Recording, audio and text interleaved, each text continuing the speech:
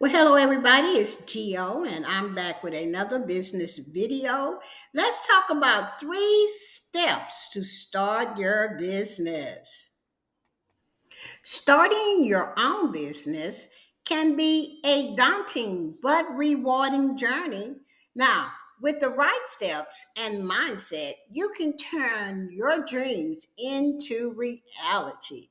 Today, we will discuss three essential steps to get you started. Number one, identify your passion and niche. What are you genuinely excited about? What do you love doing? Do your market research. Analyze the demand for your product or service and identify your niche. Find your unique selling point and how you will be different from your competitors. Number two, define your goals. Clearly outline your short term and long term objectives. Conduct your market research. Gather data on your target audience, your competitors, and industry trends.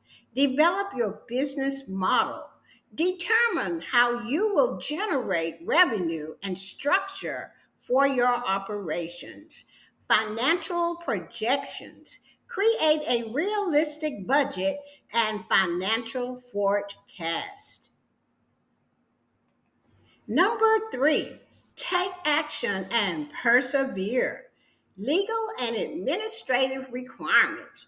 Register your business, obtain the necessary permits, and comply with regulations. Build your brand. Develop a strong brand identity and create a professional online presence. Networking and marketing. Connect with potential customers and partners offline and online. Embrace failure and learn. Understand that setbacks are a part of the process. So, you see, starting a business requires dedication, hard work, and a willingness to learn.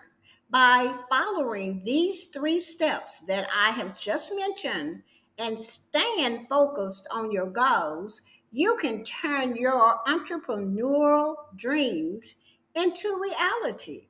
Remember, Every successful business started with a single step.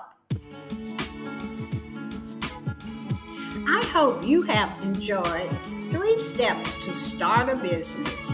If you would like to see more videos like these, subscribe to the channel, like and comment on this video.